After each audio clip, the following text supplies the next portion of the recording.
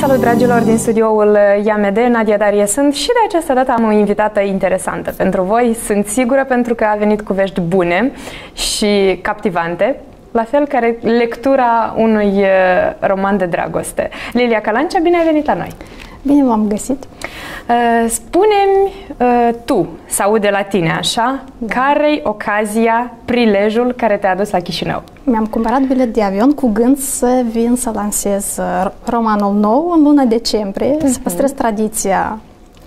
de acum 2 ani? Da, uh-huh. de, dar au intervenit niște schimbări. Romanul încă nu este gata, adică e deja bun de tipar, dar nu reușesc să fac lansarea în decembrie. Așadar am venit uh, să vizitez Moldova, să mă, să-mi văd cititorii, mâine am un offline. Luna decembrie așa o lună frumoasă, înainte de sărbători și chiar, chiar am, aveam nevoie să schimb un pic decorul, să văd fețe noi, uh-huh. dar e o plăcere și bine am făcut că am venit. Eu am să anunț pe contul meu de Facebook uh, data exactă a lansării, dar uh, planific 1 martie pentru Chișinău, dar sfârșitul lui februarie pentru câteva orășele din Moldova, pentru că am de gând să fac un mic turneu. Dacă, mm-hmm. da, uh, țin foarte mult cartea să fie să fie răspândită nu doar în capitală, pentru că e o carte de care au nevoie femeile, probabil. Poate de ce? Eu am scris-o cu cu gândul că cineva așteaptă cartea asta. Știi, unul din scopurile cărții, de fapt, uh-huh. a fost uh, pentru mine să trec de la generalizare, de exemplu, femeile bolnave de cancer, ca așa mai departe, da, da, da. să trec la două destine concrete. Așa ca în literatură. Pe mine nu mă interesează un fenomen sau mă interesează, eu pot să compatimez, pot să ajut, dar tu, ca scriitor, rolul tău este să să descrie un destin concret, știi? O femeie să care se numește... cu cineva. Da, da se da. numește, de exemplu, uh, Tina sau Livia, are 30 de ani sau 35, e îndrăgostită, iubită sau neiubită, uh, suferă din cauza cuiva, cineva, o boală sau altceva, relația ei cu părinții, cu bărbații, amintirile din copilărie, știi? Lucrurile astea pe mine mă interesează omul care concret, știi? Și prin asta tu poți sensibiliza și cititorul empatizează cu persoana dată. Înțelegi? Și dacă eu ajung la cumva la să trezesc emoția față de personajul ăsta care în cazul dat, în romanul dat, e vorba de două femei tinere, mhm. bolnave uh-huh. de cancer și dacă eu ajung să, să fac, să-l fac pe cititor să empatizeze cu un personaj, nu e neapărat două, să zicem cu, cu doar un personaj, da. da? Atunci, când femeia sau bărbatul care a citit cartea mea va mai auzi de femeile bolnave de cancer și mai departe, în gândul sau în imaginația lui o să vină Tina cu ochii verzi sau uh-huh. albaștri, cu niște amintiri din copilărie, cu niște înfrământări interioare, știi, și tu, tu ai să te simți mai, mai aproape și poate să fii mai, mai sensibilizat, știi? Deci ne-ai dat deja câteva detalii. Una da. dintre da. uh, personajele din carte este Tina. E vorba, de fapt, de două personaje. Uh-huh. E vorba de o, de o prietenie spontană legată între două femei uh-huh. um, bolnave de cancer. Ele sunt, sunt două tinere. prototipuri diferite? Da, da total diferite și de asta e interesant, pentru că toate că ambele sunt un fel de surori astrale, dar nu după luna în care s-au născut, dar după luna în care vor părăsi acest pământ. Uh-huh. Ele sunt diferite și ele se descoperă una pe alta în timpul unei călătorii. Față de care dintre acestea ai fost tu mai aproape? Sau uh, cum te-ai poziționat tu în această relație de prietenie? Ambele femei, de fapt, reprezintă o parte din mine Ehm, Tina, de fapt, prototipul acestui personaj, eu l-am cunoscut în viața reală. Uh-huh. E vorba de verișoara mea care a decedat și e mai tânără decât mine, a decedat uh-huh. de uh, cancer la ovari. Uh-huh. Și eu cumva am împrumutat tipajul ăsta. Ea m-a ajutat mult ca eu să formez să și... construiești. Cumva firul? Livia e probabil mai mult mă reprezintă pe mine uh-huh. și o să cititorii care mă cunosc o să, se regă, o să mă regăsească pe mine în personajele astea. Spuneai că ai avut nevoie de volum, de mult mai mult volum decât uh, a prezentat Regina Nopții, anume da. pentru ca să dezvălui trăiri sufletești, emoții, stări prin care aceste personaje trec. Ehm, crezi că va fi un impediment pentru, pentru cititor? Probabil trebuie să precizez că mai este, un, um, mai este o acțiune paralelă uh-huh. cu călătoria asta. E vorba de poeta Sappho, uh, o poetă grecoaică care a trăit acum 2500 Nu puteai să nu te legi de Nu puteam. Destinul uh, Sapfei e cumva similar cu destinul unui personaj. Și așa, o paralelă frumoasă și elegantă.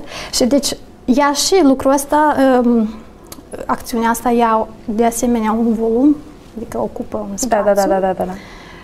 Uh, dar um, mă gândesc acum că am avut gând să un pic poate să mai... Comprimi, da? Da. și nu am găsit uh, nu am găsit fragmente pe care aș putea să le surprimi ca și cum aș tăia ceva în carne vie și zic să fie așa, pentru că așa, așa văd eu cartea și mai bine să fie exact așa cum văd eu cartea. Ne-ai spus despre mai multe surse de inspirație. Cea care vine din viața ta reală, uh, cea care vine dintr-un, uh, dintr-o poetesă pe care tu o admiri uh, și de creația căreia te-ai îndrăgostit cumva, da? Care au mai fost altele? Eu încep mereu de la un decor. Un decor care mă scoate din echilibru. Adică deci e trebuie o cadratură, da? Da. și e vorba mereu de un peisaj. Natura e sursa mea de inspirație. Uh, cartea asta nu mi-a pornit de la un tablou uh, care reprezintă un fragment de Grecia și eram și în Grecia. Și atunci eram atât de încântată de peisajul pe care l-am văzut și eram în Grecia, deja aveam și peisajul natural, nu doar uh-huh. un mhm. tablou pe care îl vezi în Marea Britanie sau în Belgia pe timp de ploaie, spui, ah, vreau în Grecia. Nu, eu eram în Grecia, dar am văzut tabloul ăsta în Grecia și am spus, e fenomenal. Trebuie să scriu o poveste care sfârșește ca în tablou. Uh-huh. Deci tu ai văzut bine, finalul. Da, ăsta era finalul. Bine, acum trebuie să compunem uh, povestea. Personajul, care ajunge în 300 și ceva de pagini. Da, personajele, intriga, trebuie ceva să, să fie frumos, delicat. Și atunci mi-am spus, m-am întrebat, de fapt, ce te frământă pe tine în perioada asta? Și așa s-a întâmplat că în ultimii patru ani eu eram foarte, eram frământată de întrebări legate de decesul femeilor tinere uh-huh. diagnosticate de cancer. Pentru că am avut și prietene patru femei care au decedat în ultimii patru ani, mai tinere mai decât mine. Da. cu viața ta? Și eu nu găseam răspunsuri la întrebări. Zic, nu e posibil. Cum? Cum? Ele tinere, frumoase, floarea vârstei, diagnostic și gata, dispar. Cum așa se dispare? Asta nu e firesc, știi? Oricum, noi nu, nu suntem gata cu pierdere um, umane, știi? Niciodată. Cum... Da. Și asta tulbură, îți pui întrebări, foarte multe întrebări și uh, mi-am spus că eu trebuie să scriu despre asta, dar trebuie să mă documentez, pentru că nu e o carte autobiografică. Eu nu am avut o persoană foarte apropiată pe care am supravegheat-o, știi? Eu am discutat cu persoane, ă, dar foarte delicat. Eu nu sunt genul de persoană să pun întrebări, dar cum te-ai simțit tu uh-huh. în timpul tratamentului, dar cum, Deci știi? nu te vârți pe sub piele, da? Nu, pentru că e cumva un subiect delicat și fiecare persoană îl trăiește diferit. De asta eu a, tre- a trebuit să mă documentez, să citesc foarte mult, din mai multe surse și aspecte diferite. Știi? Ai stat la discuții cu doctori de specialitate, spre exemplu? Nu, am citit cărți uh-huh. cu doctori uh-huh. care au tratat uh-huh. uh, pacienți de cancer și întrebarea mea cardinală a fost așa. Eu trebuie să înțeleg de ce avem două persoane, să zicem, da? cu același diagnostic, uh, aceeași vârstă, același tratament, dar una ea se vindecă și alta cedează. Uh-huh. Misterul ăsta nu mi-a dat pace câțiva ani și am zis, eu trebuie să caut, să cercetez și măcar cumva să... Și am găsit. Bine, e foarte subiectiv ceea ce am găsit eu, dar mi-a plăcut și am făcut și experimente și pe mine, uh-huh. pentru că noi toți avem niște boli cronice care, înțelegi? Și am văzut rezultate. Ai văzut și că zic, probabil uh-huh. că ar putea Asta funcționa, e secretul. dar hai să dezvolt într-o carte. Totul ce am acumulat, am dezvoltat și a ieșit cartea Deci asta. această poveste a acestor două femei sau trei până la urmă, câte se regăsesc în carte, uh, e mai veche decât Regina Nopții? Probabil că da. Ca durat, pentru că vorbești de ani. Da, vorbești da, de, da, vorbești da. de ani. Tu ai nevoie și de cadru natural, spuneai tu, de un cadru de liniște, de regăsire, de meditație. Uh, unde îl găsești? Eu îl găsesc vara, de fapt. Uh, Am norocul să merg în Grecia, nu ca turist, ci ca membru de familie, adică stau în familie. Te duci la soacră, să spunem pe bune. și vezi când locuiești într-o familie, tu vezi altfel lucrurile și altfel țara. Mhm. Altfel vezi mentalitatea așa cum este ea, din interior, cu ochii la cer și pe malul mării. Probabil că de asta și cartea se numește Sub constelația lirei, Mhm. pentru că ea apare pe cer în luna august, când eu sunt în Grecia. Și, uh, da, și e legată foarte mult de mitologia grecească. Tot cerul înstelat, toată bolta înstelată e legată de Mhm. mitologia grecească. Este constelația Casiopeia, Lebăda. și E o carte deschisă și foarte interesantă dacă știi să o citești. Și m-a încântat lucrul ăsta și bineînțeles că l-am încadrat în roman. Povestește-mi despre acest circuit pe care ai de gând să-l faci prin uh, mai multe orașele din Republica Moldova. Uh, Ți-ai pus deja uh, punctișoare pe hartă unde vrei să ajungi? Sunt sigură că voi merge la Strășeni, în primul rând, Uh-huh. pentru că m-am născut acolo și am un episod, um, uh, școala internată din Strășeni, care e prezent în carte și e foarte important. Uh, Am să merg la Soroca, probabil, pentru că, dar la biblioteci. Lansarea o să fie mereu la bibliotecă. Uh, Pentru că am descris niște momente din copilărie petrecute malul Nistrului, la Soroca, și probabil am să me- merg la biblioteca din Bălți, dar trebuie mai întâi să coordonez cu mai multă lume. Deci astea trei, așa, poate, încă o să mai merg poate într-un oraș, La dar sud, nu, nu la știu. sud. La sud, exact. La sudul nu-l cunosc și mi-e rușine, dar nu-l cunosc. Eu trebuie să încep să, să descoper Moldova. și Chișinăul, bineînțeles, probabil o să fie la sfârșit. Sfârșit Să încununeze opere. opera. Da. Am atestat cumva un uh, val de noi producții literare, lucru care ne bucură foarte mult, în special în ultimii 2-3 ani. Uh, și sunt tot mai multe femei că ne-am tot uh, aliniat la clasicii universali, uh, clasica contemporană de, se pare că vrea să fie scrisă de femei, uh, totuși. Uh, tu cum simți valul ăsta? Depinde, sunt și bărbați, dacă stăm și ne gândim. Ei bun, da, Dar cum e îți mai adevărat că multe femei? eu, uh, personal, eu comunic uh, mai mult cu femeile. Nu știu de ce, probabil pentru, prin Facebook, prin instrumentul ăsta de Da, da, da. comunicare, pentru că, hai să zicem, lansările recente, Zina Zenț și Tatiana Țibuleac, noi comunicăm pe Facebook foarte activ, adică ne cunoaștem, ne urmărim, pentru că e firesc, noi facem parte din aceeași generație, suntem curio- curioase și asta caracterizează un scriitor. Trebuie să fii foarte curios și uh, pe mine m- mă, mă bucură, mai ales că a fost, uh, au fost, a fost un succes ultimele lansări. Um, Eu am citit cartea Zinezen și am scris și un feedback, feed- feedback pe Facebook.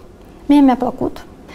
Uh, Mie îmi pare că, și așa am scris că este, o o evoluție. evoluție. Mhm. Cartea Tatianei nu am citit-o, încă n-am reușit, dar am înțeles și- că există și o evoluție în cazul ei și chiar foarte simțitoare. Am, am, am citit doar ecouri pozitive Am și dat noi lumea un, uh, spune, un articol cu mai multe ecouri. lumea spune că e o, e o carte foarte reușită. Și eu mă bucur că sunt contemporană cu femei care evoluează sub ochii mei. Mhm. Pentru mine e o încântare și un noroc. Dincolo de acestea, m, sunt tot mai mulți scriitori tineri care m, încearcă să se promoveze. E cumva un val, parcă și-a devenit la modă ca ce scrii nu contează, fie eseu, fie gânduri scurte, fie proză, fie poezie în vers alb, să fie publicat. E trendy să ai o carte.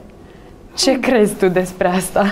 Mie îmi pare cumva firesc să, să înceapă uh, cum să spun, curentul ăsta de mhm. publicații uh-huh. ca în oricare altă țară. Din potrivă, eu cred că în Moldova se lansează foarte puține cărți. Probabil e percepția mea personală și subiectivă, dar eu cred că se lansează foarte puțin. Și eu mă bucur. Dacă sunt tineri, eu încă nu cunosc, pentru că, să zicem, până în luna septembrie eu eram mai mult în cartea mea și nu prea urmăream evenimentele, așa, abia acum, cu ultimele lansări, am devenit mai activă și pe Facebook, dar nu prea sunt la curent. Știu că sunt mulți tineri care lansează, dar eu încă nu am citit. Nu, nu am o opinie, nu pot să mă exprim. Hmm. Ești tentată să-i bine. citești? Da, eu sunt curioasă și probabil că am să trec prin librărie. Încă, bine, am trecut prin librărie, dar așa în fugă. Și mie nu-mi place să trec în fugă pentru că am multe alte lucruri de făcut. Dar spre finele sejurului meu, cred că am să mai fac o o tură? O tură și am să, da, am să vedem, să, o să te aprovizionezi. Mai spune-mi despre carte, un gând uh, final dacă ai tu, că vezi că nici n-am observat când a trecut timpul. Ce vezi tu după uh, această constelație a lirei? Voi spune un lucru poate foarte ciudat. Era ciudat și pentru mine înainte de a scrie cartea asta, că auzeam pe la autor când spuneau cartea asta m-a ales pe mine să o scriu. Mm-hmm. Și îmi pare atât de banală chestia, da? Și banală și îți dai seama ce tupeu, cartea m-a ales pe mine să scriu. Până când n-am ajuns, adică am ajuns uh-huh. să spun și eu același lucru. Cartea asta m-a obsedat. În ultimii doi ani, ea mă bânduia, pentru că eu am început uh, două romane să scriu în același timp și zic, poate mai iau cu, cu altceva, da, și o las frumos uh-huh. într-o și parte. Și să dăm o regina nopții. Da, da, ceva ușurel așa, de plajă. Nu, nu, nu, nu. Totdeauna nu reveneam, cartea nu mă lăsa. Trebuia să mă descarc, să pun în ea toate întrebările, frământările, să încerc să caut, caut, caut, până când am sfârșit-o. Și acum eu mă simt eliberată. Eu am sentimentul că eu am scris cartea asta pentru o singură persoană ea nu știe de mine, eu nu știu cine e persoana asta. Uh-huh. Eu știu că în 2017 noi o să ne întâlnim și o să spună. Există un moment, eu mi-aș dori mult să fac o donație din vânzări. Uh-huh. Poate e prematur să vorbesc încă despre asta, pentru că mai avem timp, dar uh, aș dori foarte mult să pot să contribui și financiar în cazul femeilor bolnave de cancer, există uh-huh. multe asociații, încă nu știu cu cine am să iau legătura, dar o parte din vânzări o să meargă pentru donații. Și uh-huh. lucrul ăsta m-a mobilizat la fel, să duc uh, lucrarea la bun sfârșit, pentru că e o contribuție nu doar sufletească, pentru că m-am investit în ea și e, pentru eu țin foarte mult la cartea asta, foarte mult, dar și e o contribuție materială. Așteptăm să lansarea. Vedem, Mulțumesc foarte mult pentru prezență, Mulțumesc tocmai de la Bruxelles până aici. Mulțumesc, vă aștept. Cu mare drag și în studioul IAMD tot vă mai aștept cu invitați deosebiți și care să vă aducă vești și povești interesante. Numai bine!